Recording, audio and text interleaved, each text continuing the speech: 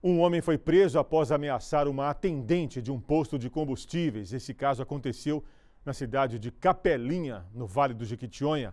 Os militares foram acionados pela vítima de 24 anos, funcionária do estabelecimento. Ela disse que o suspeito de 49 chegou ao local em uma motocicleta e que aparentava estar alcoolizado e agressivo. Além disso, ele a xingou e a ameaçou de morte.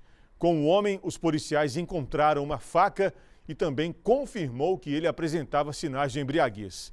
Mesmo após receber voz de prisão, ele continuou xingando, dessa vez, os militares. O suspeito foi conduzido até a delegacia de Polícia Civil e ele já é conhecido pelo crime de homicídio.